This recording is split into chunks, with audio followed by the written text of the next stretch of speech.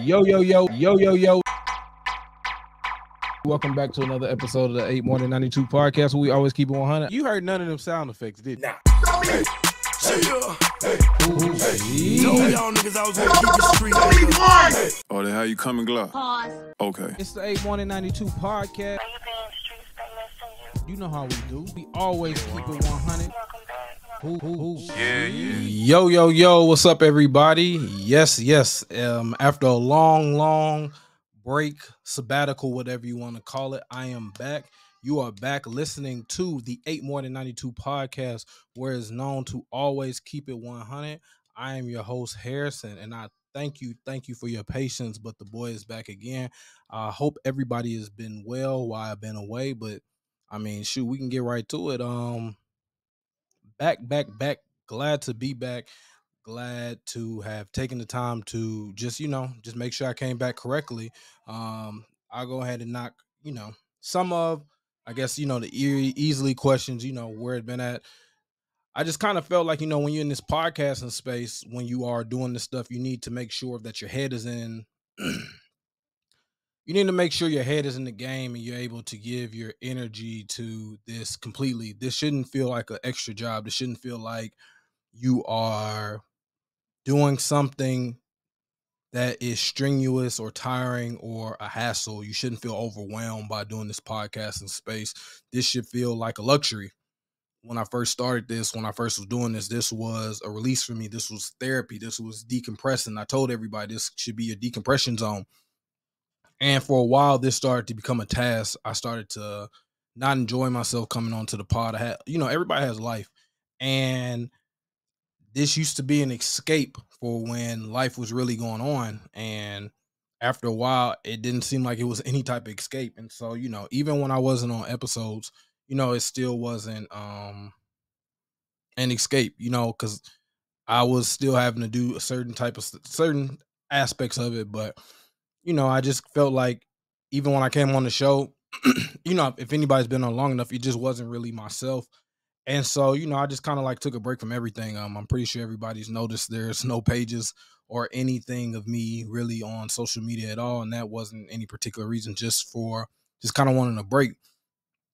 And that's about as deep as I'm gonna get into it. Um, I just felt like if I couldn't come on here and give everybody the best representation of myself, then I wasn't gonna be on here. And I just felt like until I could come on here and give everybody the authentic, authentic Harrison that y'all known to love, then I wasn't gonna be on here. And that's what I wanted to make sure I get uh, did. So I made sure I kind of removed myself from it. And then I will say, you know, a lot of things were kind of factoring. Like, you know, once you take like a break for that long, you kind of get nervous and you see other people's spaces, you know, a lot of celebrities and stuff were kind of coming in to this podcasting space.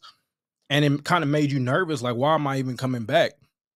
You got the Stephen A's, you got the Jeff Teagues, you got the Gilbert Arenas, you got all these other people that kind of pushing the lower market podcasters out the way. You had the Poor Minds, you had you had the um 85 South, you had you had um uh Uncle uh the nightcap. You just had so many podcasts. Club Shay Shay was blowing up.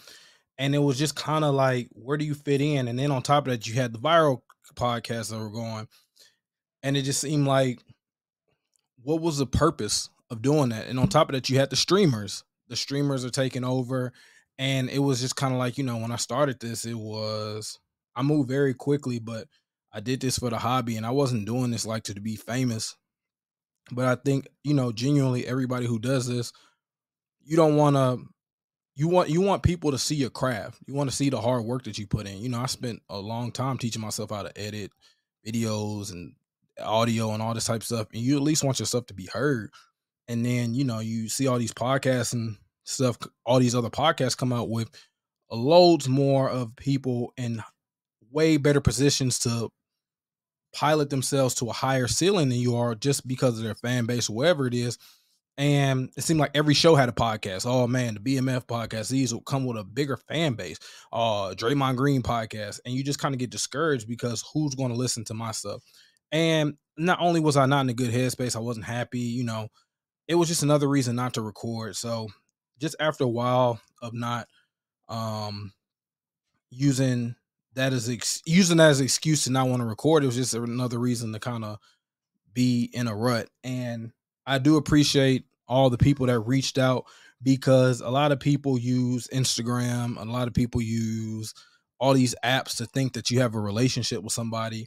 And I purposely never came back to, and I shut down my Instagram page well before I even stopped recording, but I purposely shut down my Instagram page uh, on purpose because I was just kind of tired of like the games that Instagram brought up. And I appreciate these individuals, uh, Germ, uh, Webb, Dolly, Rodis, Jr., Irv Weeks, um, Tino Trim, um, I want to say uh, that to nail anybody from the podcast podcasting space that actually had my number. Those people that had my number, you know, that um that were in the podcasting game, I appreciate y'all because it was, you know, if you didn't have my number, then I obviously didn't fuck with you like that, you know, to a certain extent. Um and they actually reached out and see if I was okay. That really meant a lot. I, I really took those relationships for what they were. It was bigger than just recording. And to the people, you know, that was just wondering they didn't ask me about coming back at all. They just asked me if I was cool. And the people just wondering, you know, was it about an episode? Obviously, if I, if I wanted to put out an episode, I would just put out an episode. So, you know, um, it showed like a lot that, you know, some people can't get out the space that it is for the, you know, the internet for the likes and stuff like that. And then some people that, you know, this wasn't what it was to me. This was like I put my blood, sweat, and tears to this. You know what I'm saying? The merchandise wasn't just something, none of this was to get rich quick. This was for me to express myself. And you know, ironically, I dropped this. You know, I'm recording this on my birthday, so happy birthday to me. I'm dropping this on my birthday. Happy birthday to me. And I just felt like, you know, I was back in good spirits. I was back happy. I was back excited to wake up again. I was back to go out and, you know, have a spirit and have my personality again. And I was back excited to be creative again. So that was kind of an urge to get back. And, you know, shout out to Rodis. Um, particularly for, you know, telling me to take it slow. You know, I don't have to go back to like the routes of feeling overwhelmed by like running so many social sites by myself. I don't have to do all that. Just hit record. That's all I want to do now. I just want to get back out here and just start doing something now when I want to do before. Before I was running the page, before I was doing any of that, I was just recording audio. I was just making videos. So that's what I'm gonna do right now. I'm gonna keep it simple. I'm gonna get back to the basics and I'm gonna just do me. So, you know, that's what we're doing right now. So to kick it off, our highest condolence to Akira Toriyama of Dragon Ball Z. Yes, I want to take this time to make sure we give our deepest condolence to somebody that shaped my generation for years to come. Um, if anybody doesn't know, he created Dragon Ball and Dragon Ball Z. To anybody who grew up in the 90s, whether it's between 87 and 90, and then I want to say maybe 95, if not longer, he created our Boys in the Hood, our Tupac, our, you know, our legendary street legends. This was what every boy wanted to be. Dragon Ball Z was like one of those iconic shows, you know, it was just for our generation. I mean, and it wasn't just for like American kids, eh, you know, black kids. Uh, it was for worldwide. Like, um, you know, the older you get, you see a lot of stuff kind of happen to you, and you just kind of figure out, you know, you kind of realize the impact of stuff that it, you kind of see what kind of shaped you as a person. And Dragon Ball Z kind of fell into that realm. Now, you know, the first time I kind of realized things were or life was kind of real. I mean, you, all, you let me just kind of phrase that. Like, you know, life is real. You know, stuff isn't a game, but it's kind of like maybe you should kind of appreciate stuff more because you know every day isn't promised. And I want to say it kind of hit me that you know every day isn't promised to me when Mac Miller died. And that was because I was a big Mac Miller fan. And Mac Miller was my age. And, you know, somebody around that time at my age that died for something so simple, you know, when I was at college for, um, that died for what everybody around me was doing. Like it was just kind of hit home. Like, you know, I listened to Mac and that was that new wave of music, like when you know, where you were kind of fitting into your style. And they were all doing what you were doing. It was like, dang, that really kind of sucked. Were you kind of connected before fame what it was now? And then, you know, after that, it was Nipsey. But like, this is up there in my mind because I feel like it touches the earth and it affects everybody. Is, you know, when Kobe died. And I, in my mind, I feel like when Kobe died, you know, the world stopped. And if anybody remembers when Kobe died, like, you know, I feel like everybody just paused what they were doing and just like had a moment of like silence for Kobe. You know, I'm like, it's just, I just remember exactly what happened. I was sitting on the floor doing homework and I was texting Banks. I was like, bro, Kobe just died. And he was like, what? And it seemed like nobody was doing anything like the game stopped. And I literally feel like the world just paused when Kobe died. And like even now to this day, Kobe doesn't feel like he's dead. Um, to me, I just feel like he's still there. I just feel like he's not just all his videos just seem like he just shot him yesterday. And so for this, I mean, you can't tell me one time that you know ain't nobody put their hands up like this and you know said uh spirit bomb or you know put your hands together at one point and put all your strength into it and say Kamehameha and you lying if you are in your mid 30s early 30s and ain't try to scream the highest of your lungs and sat there and try to go super saiyan you lying like hell okay? Everybody's drawings when you was in like middle school was trying to draw a super saiyan with the chin and all that. Hell i even got like a, a drawer right a dresser right here of dragon ball z characters you know? I mean i ain't gonna pull them down because i don't want to mess it up but i mean like it was impactful like that was like our staple. Like that was every that was our initial integration in the anime. So you know, you felt like you was something. Like you felt like you was cool. You felt like you traveled by watching Dragon Ball Z, and then Goku was like that nigga. You know, everybody wanted to be Goku. Goku ain't well, Goku lost. Goku died. So it ain't like um, you know, nobody wanted to be Krillin. Now you know, I feel like closest to being called. Actually, nobody wanted to be Yamcha. You know, because Yamcha lost his woman and you know Yamcha died to uh Jelly Bean. So if you got called a Yamcha, you know you was closer to a bitch. But the second bitch was Krillin, you know, because Krillin was always on somebody nutsack.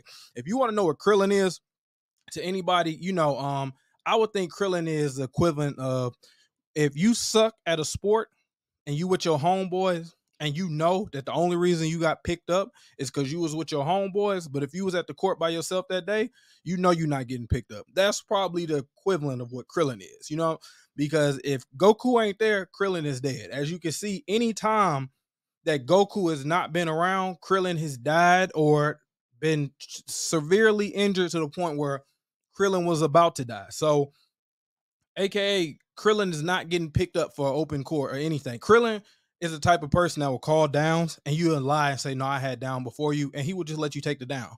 You would Krillin's the type of person that if you said, Hey, um, I need five, you'd be like, Oh, I'm waiting for the next game.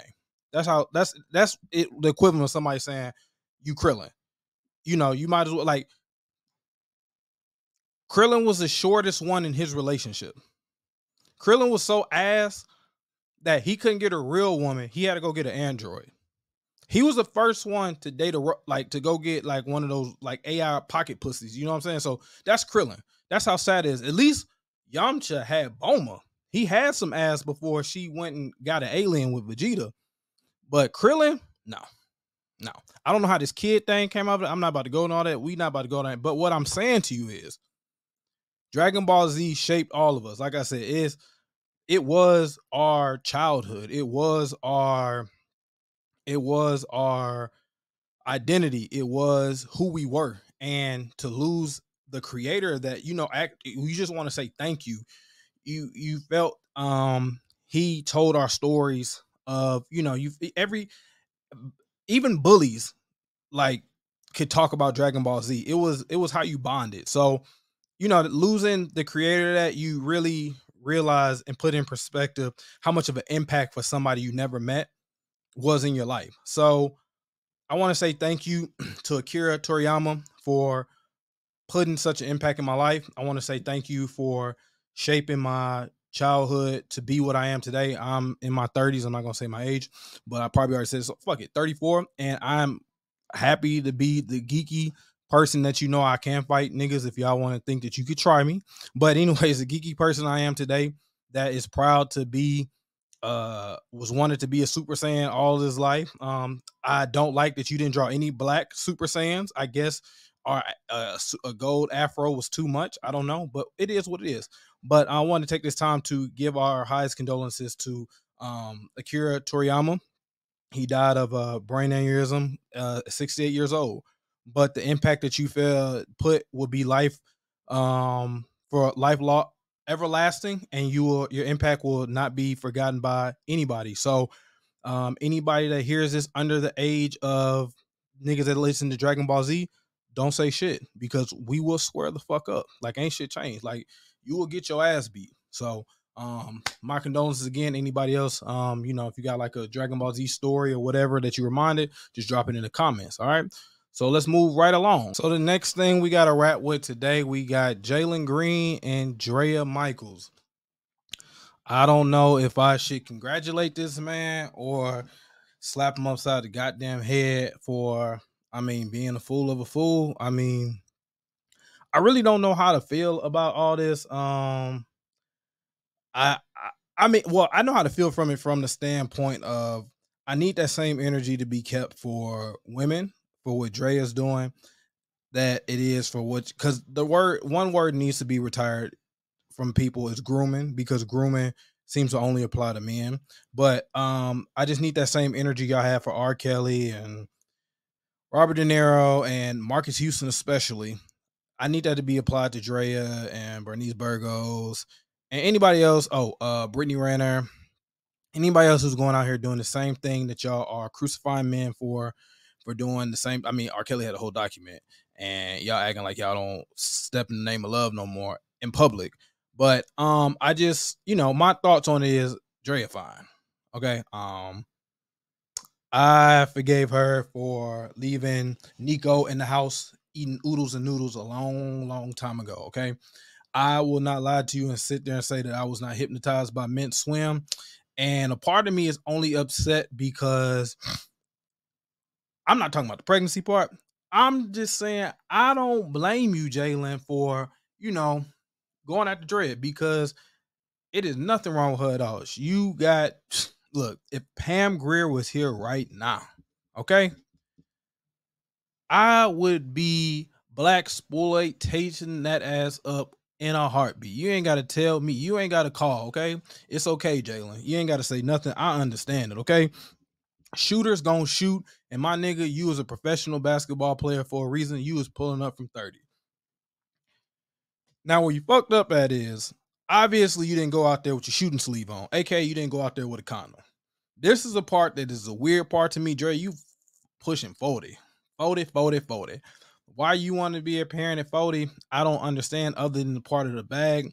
And she sat down and said these comments recently and you know, let's get her comment take on it. And this is the part where I feel bad for Jalen that because you know I feel like this part, you know, he looks like a sucker for because this is when you need to wrap it up. Person you're dating, you you see like a future with them. I think the question you were asking me is if I wanted more kids, and I feel like I want more kids, and Yeah. I feel like at this Mhm. point in my life, right, yeah. the relationship is is amazing to have, right, but that's not what I'm basing having a kid on because Right.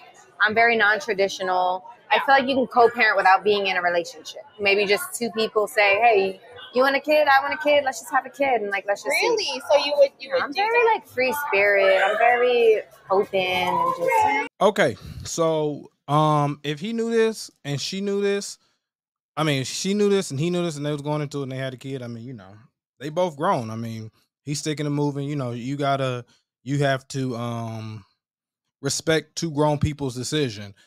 I'm not gonna sit there and say at 22 years old he should know everything that he needs to know. I think that's a little bit irresponsible. I think if he was to sit there and tell me that he loves this girl and she's the one for him, I would look at him and say, Man, sit your dumb ass down. easy as that. You know what I'm saying? And if he sat there and she sat there and said that he was the love of her life, I would look at her and say, Why the fuck you lying? Why you always lying? Oh my god. Stop fucking lying. But I will say this this is where I feel like this is where if I was a judge or if I was a legislator, this is how you like stop all this scheming stuff because I feel like let's just be realistic. I mean, there's a child into it, and this is how you kind of stop all this scheming and gold digging or whatever you want to call it. You seen in the comments she said she just wants a kid. She doesn't necessarily need to be with anybody. Okay, that's fine. You just want to, you know, frolic, uh, frolic around and do all that, and you want to have a kid. Cool. When you have the baby, you provide. Basically, it's almost like a house or a bill. Like y'all split the bill, like y'all going Dutch. He don't provide nothing except when the baby is with him, and when the baby is with you, you provide for the baby your portion. Like there's no child support needed because you just wanted the baby. So since you didn't want the baby with him because of his um financial security, you just wanted a baby and you didn't need to be in a relationship, then you especially because Dre is not poor, you should be able to financially support it. And I feel like that's for everybody. I think it's the same with Anthony Edwards. I think that it needs to be a stance where we are realistic with ourselves. Like, yes, the guys need to be responsible. You need to be smart what you're doing. Also, like ladies, let's be realistic with ourselves. It is it's the same way that if you're a rapper or a, a millionaire and you cheat on your spouse, they're going to take you back versus if you're broke i mean broke niggas get taken back as well but if you get cheated on uh, by a broke nigga you're probably going to be less you know lenient to take them back than you would um somebody who is making a lot of money and that's because the financial security. So once we are not bringing in a life in this situation, let's see how frivolous you are with producing children. So once you have to front the bill, and that bill, like let's see, some people are paying like twenty thousand dollars a month. Let's see if if that twenty thousand dollars or ten thousand, whatever you think is justifiable for a child when you take him to court. Let's see if you pay that. Are you as irresponsible enough to give your body up to people as he's irresponsible enough to sit there and lay without having a condom. And I think that's how you kind of weed out some of this bullshit that's going on. And then let's just call it what it is, because I mean, Jalen Green is going to be a hundred million dollar athlete. Let's you didn't you didn't lay down with a bum. You didn't lay down with um Tyrone from checking the cash. You didn't lay down with even a six figure nigga, like you know somebody's making eighty, a hundred thousand dollars a year. You didn't lay down with him. You knew what you were doing. So I mean, you 39 years old. I think her oldest son, if I'm not mistaken, Kniko, they the same age. So if we being realistic, realistic, um, what do y'all talk about? This nigga, like, I think it's videos of him doing suspect stuff, and you, um, were around doing 106 & Park. He didn't even really watch Toonami which I didn't even sit there and say during the Dragon Ball Z phase, but I mean, you know, sometimes it's the fight when you feel all by yourself. You say that to him, he can't even name you all the characters in Moesha. He can't. He don't know uh who Dorian really is. He don't even know what kind of car dealership Frank was at. You feel what I'm saying? What happened to Andell? Exactly. What was uh what was um Merlin Santana's name on Moesha? What was Romeo's best friend on Steve Harvey? He don't know none of this shit. You know why? Because his ass wasn't fucking born. Exactly. He don't even know the name of Pop's restaurant on Wayans Brothers, and it should be fucking obvious. All I'm saying is, what y'all talking about? But I bet you, you can tell you everybody on Kai Cenat uh, streaming, and your ass can't either. You probably don't even know how to set up a streaming site. So, I mean, if we being realistic, the paycheck and dick is what you was after and the lips and hips is what he was after. And you know, eye candy, he attractive male, you uh fine ass female. I mean, it just works out for both parties, but let's just call a spade a spade. Let's not drag it on more than what it is. And let's have that same energy and do with her like y'all did to Marcus Houston. That's all I care about. I mean, if she get the same in and I feel like Draya is not the best one for this because I feel like people already don't like Draya. It need to be somebody like, hmm, Taylor Swift. Be somebody that y'all just you ain't got no choice but not to defend. You know what I'm saying? Don't don't don't be somebody that you you just like or something like that. Be Teyana Taylor.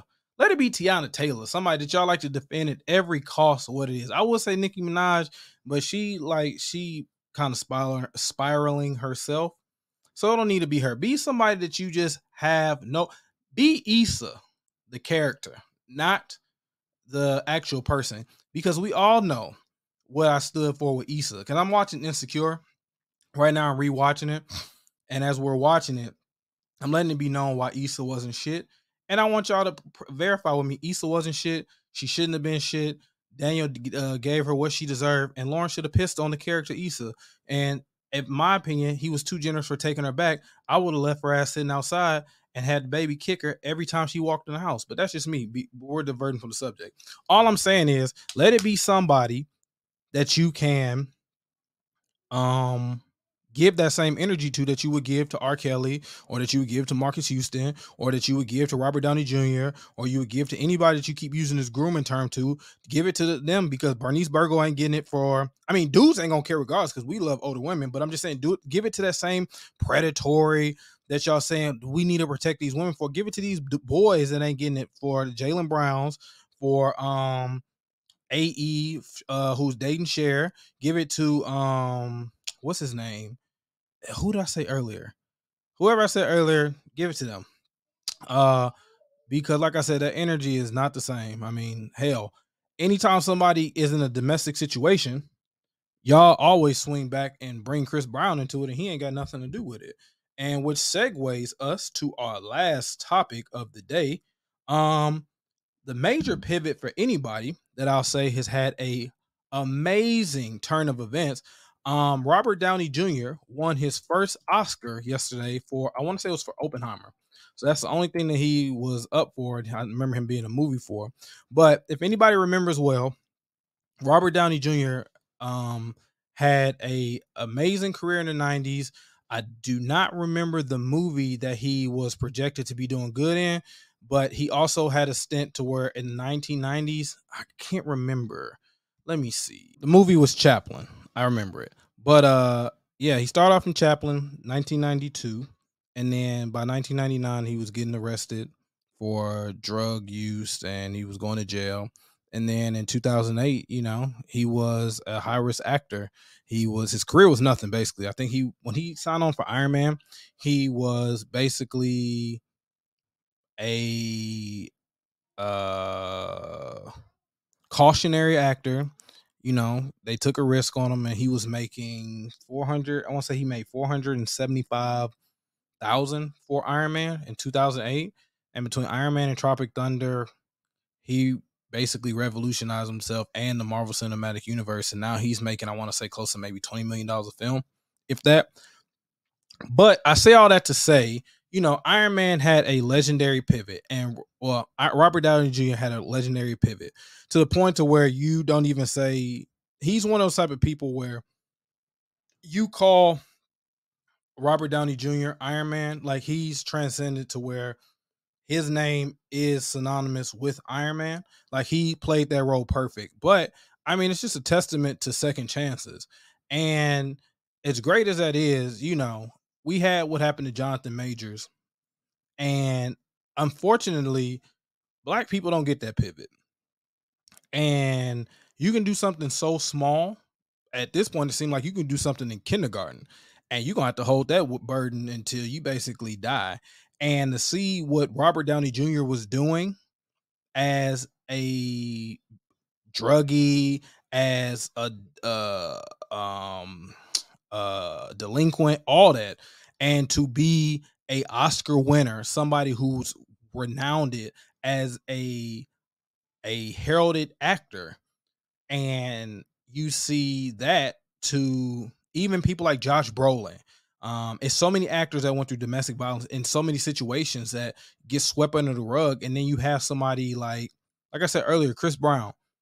Anybody that's in a domestic situation, Chris Brown name get thrown into it. Chris Brown is going through something that happened when Chris Brown was 19 years old, to the point that you could clearly see what it's turned Chris Brown into today. I'm not sitting there saying that what he is now isn't wouldn't have happened because of him being a celebrity, but I honestly feel that some of the stuff that he goes through is a direct reflection of him having to go through the turmoils of being labeled a domestic abuser. And it seems like nobody will ever let him forget it. And it seems like nobody will let him forget it, even when it has nothing to do with him.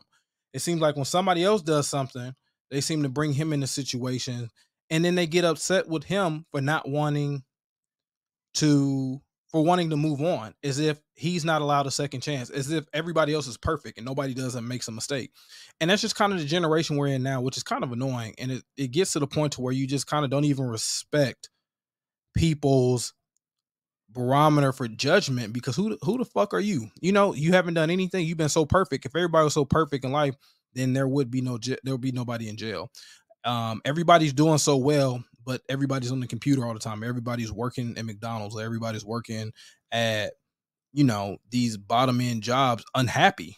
And there's nothing wrong with the jobs. You're just unhappy at them. That's not where you want to be at because you're looking at other people's lives, or you're telling people that they need to go get a CDL or they need to go get a PPP loan, and telling everybody how to make all these quick financial moves, and you don't have it. So you know, I just feel that, and Jonathan Majors, another one, he was prime position to take over the acting world, and he didn't get found guilty for the major uh, assault.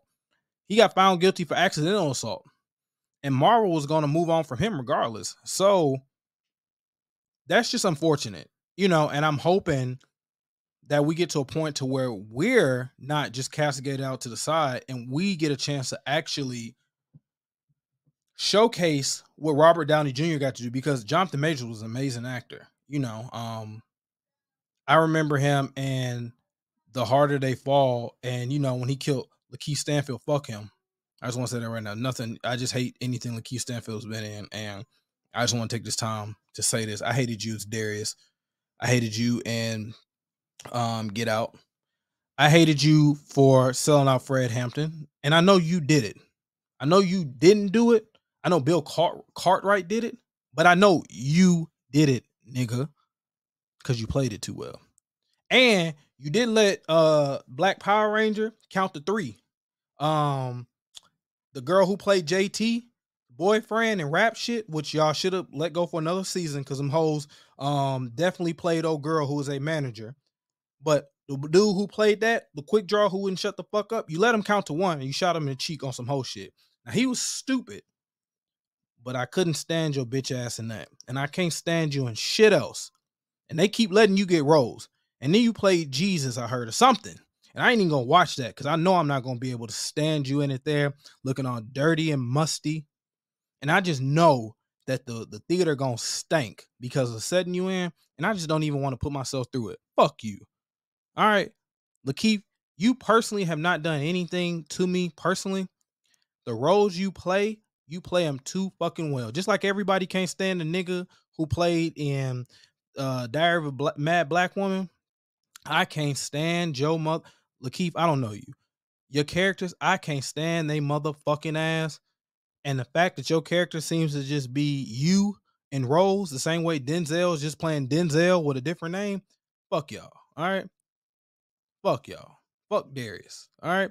Fuck Paperboy too. All right. Lying ass motherfucker. Didn't even know. Anyways, all I'm saying is you got to make sure that we get that same opportunity or we got to make sure that we maximize and um do what's necessary to kind of not put ourselves in situations to where we are having to plead to the academy or the white folks or whatever it is. It's just because we can see it's nothing new. I mean, Ja Morant was out there toting a gun and Josh Giddey out there dancing with underage girls. I'm not sitting there saying one is better than the other. I'm just saying look at the look at the um the broadcast for it. I mean, anybody watch the LSU fight? Look how basically the coach for LSU wanted to call them girls thugs. I get what she doing, but if that was Dawn Staley, Dawn Dawn uh, Staley, uh, however you say her last name, I apologize for getting wrong for the South Carolina game Gamecocks doing that same attitude as the LSU coach was, and I get why she was upset. But after the game, you see she could have cooled down and apologized. Then they would have been calling the coach for South Carolina Gamecocks. I see why they act so ghetto in this. So you see what's afforded as class and everything else, and you see who's really given um, the opportunity to make a second chance. And I just hope that um, he's given that opportunity to make a second chance. Yes, sir. And that's just a bar right there. I mean, like I said, Jonathan Majors on uh, high trajectory to hit the stratosphere, and then he lost Kang and he lost everything else. I mean, fuck it. They cheated Angela because I mean, she was a queen of the most powerful nation in the world, and she lost her whole fucking family and the fucking Oscars. And I'm not gonna get over that. But we'll wrap it right here, guys. I appreciate everybody, like I said, that reached out. I appreciate everybody's taking the time to listen to us. I hope everybody's been well. I'm glad to be back. You know what I'm saying? Um, we're gonna take it one day at a time and just try to, you know, ingratiate myself back into this whole fold and stuff like that. And I missed y'all, man. So this has been another episode of 8 More Than 92 Podcast where we always keep it 100. I am your host, Harrison. Peace. Yo, yo, yo, yo, yo, yo. Welcome back to another episode of the 8 More Than 92 Podcast where we always keep it 100. You heard none of them sound effects, did you? Told y'all niggas I was gonna keep it street. nigga. Oh, then how you coming, Glock? Pause. Okay. It's the 8 More Than 92 Podcast. Are you being streets? They you. You know how we do. We always keep it 100. Welcome back. Who, who, who? Yeah, yeah.